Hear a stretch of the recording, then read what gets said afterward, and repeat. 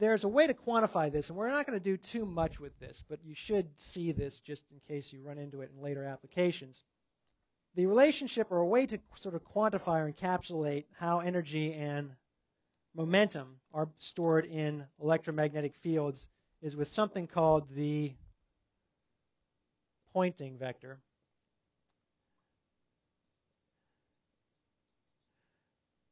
Which is a great name because vectors point, of course, but it's actually someone named Poynting actually came up with this thing. So I, I thought that was uh, uh, you know just fantastic here. We have this Poynting vector, which is given the vector of the symbol s. It's equal to 1 over mu naught e cross b. Okay, so we already know that E cross B is going to give us the direction of propagation. So this Poynting vector, at least for radiation, points in the direction of propagation. And in particular, it points uh, in the direction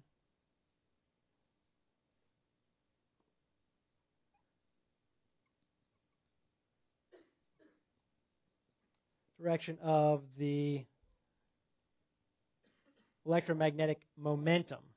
Okay, so the direction of the momentum is given by E cross B. It also points in the direction of energy flow.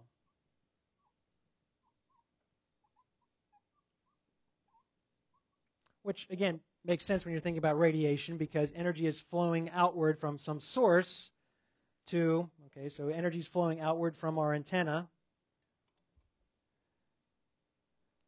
in the direction of propagation, okay, to deliver energy to this to this uh, receiver, okay. So this Poynting vector is the direction it gives the direction of energy flow or direction of momentum. What what is this quantity? What's the units? The units are actually uh, watts per meter squared. So this is the energy per second per area, or a quantity called energy flux, which isn't the same as electric flux, which we've talked about, but it's how much, and if you have a square meter, for example, and you want to think about how much energy is being delivered to this area per unit time, say, for example, by the sun, if you have, if you're talking about solar energy, again, the theme here. Uh, solar energy being delivered to some particular area. Uh, we want the power per unit area, something that's sometimes called the intensity or the irradiance as well. Uh, energy flux, how much energy is built, being delivered per unit time to a particular location. And if you wanted to, you could even work this out for radiation because you could say that uh, E, again, E for radiation and B are perpendicular. So if you plug this in, we know that the cross product is going to give us two vectors that are at a, an angle of 90 degrees. So it works out for radiation that we have 1 over mu naught E rad just times B rad. And once again, because B rad is uh, E squared over C, we could just write this out as E rad times E rad over C uh, or excuse me, t, um, C times E rad. B is equal to C times. No, E over C. That's right. E over C. E over C. And so when you work it all out, you do all the, you get all the constants. This works out to be epsilon naught C times E rad squared again. So once again, energy proportional to energy flow proportional to the square of the uh, magnitude of the of the field. Okay. Um, all right. Again, we're not going to talk too much about that, but you may run into it. Let's let's try this. This is kind of a fun problem. Pretty straightforward, but let's say you have let's say you know the power output of the sun, and we can measure that. Okay, it's 4 times 10 to the 26 watts. So every second, 4 times 10 to the 26 joules of energy are being emitted by the sun in all directions. Okay, we want to think about the power, this, this energy flux, the power per unit area uh, delivered at the Earth's location, which is 1.5 times 10 to the 11th meters away. So in other words, we're looking for the irradiance or the intensity at the Earth's location. It might be a good thing to know if, say, you were trying to design a um, solar pa- a solar panel. Let's say that a solar panel that was one meter square in uh, area, and you wanted to know how much energy could you possibly deliver to this solar panel per per unit uh, time. So think about how you would calculate it. Talk it over with your neighbor. Think about how you would calculate the energy per unit area at the Earth's location. The hint here is that, again, radiation, this, this total power is being delivered in all directions. So it's going everywhere. So think about how you'd have to figure it out at the Earth's location. That's a good question. Um, could probably look it up. Let's see if it's in the back of the book here. Uh, mass of the sun, radi- oh, radius of the sun. Radius of the sun is 7 times 10 to the 8th meters. If you really want to know, I don't think it's going to be relevant to you, but if you really want to know, I'll draw a little diagram that might help. Here's the sun. 1.5 times 10 to the 11th meters away is the Earth, which is where we're interested in. And the sun's energy is being delivered in all directions.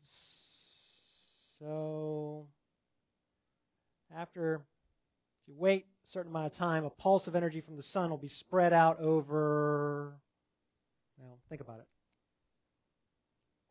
Yeah, so now we're not dealing with energy density, energy per unit volume. We're dealing with, again, energy flux, energy flowing through an area. So think about what area you would need. Okay, so 1400 watts per square meter. How'd you get it? How did you calculate it? Or did you just take a guess because it looked like a good number? You guessed. Okay. All right. Con- this is really is nothing more than, applic- than an application of conservation of energy, right? If, if there's energy being emitted by the sun in all directions, imagine sort of at, at time t equals zero, some pulse of electromagnetic radiation gets emitted by the sun. Now it's continuous, we know that, but let's just sort of travel this or, or think about this traveling pulse.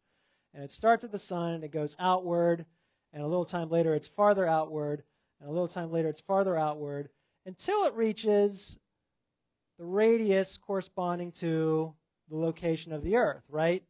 At that point, that pulse of radiation, it's still the same total amount of energy if you added up all the radiation over the entire area, right? but the power or the rate, the energy per unit area has gone down because this original pulse of energy, which was originally just spread out over the surface area of the sun, is now spread out over what area? Yeah, the surface area of 93 million miles or 1.5 times 10 to the 11th meters, that radius, right? And that surface area, how do we calculate that surface area? not 4 thirds pi r cubed. That's the volume. 4 pi r squared. 4 pi r squared. So it's just going to be the power, which hasn't changed, of 4 times 10 to the 26 divided by the area, which is 4 times pi times 1.5 times 10 to the 11th meters squared, and you end up getting 1400 watts per square meter, which is sometimes called the insolation, not, not to be confused with insulation, but insolation, meaning how much solar energy per unit area is being delivered to the Earth. Okay, which is an important number to know. Again, if you want to design a uh, a, uh, a, solar uh, a solar panel and collect some certain amount of energy per unit time. Okay, you'd collect be able at maximum be able to collect 1400 watts per meter squared. Okay, it would depend on whether the it was a sunny day, and how efficient your solar panel would be. Yes, question. Uh, it's just the surface. It's the surface area of this sphere where the Earth is that far that far away, right? And so you're not looking at you're not looking at just this area because that original power, four four times 10 to the 26 watts, joules per second. So the amount of energy in one second would be four times 10 to the 26 joules, for example, right? That 4 times 10 to 26 joules is spread over the entire surface of the sun when it's released. And as it spreads out at the speed of light, it's now spread over the entire area of a sphere corresponding to a radius around the sun being equal to the radius that, that the Earth is that far away. Does that, does that make sense? Okay. So there's really not, I mean, there's not much to it. It's just thinking about conservation of energy being spread over a surface area.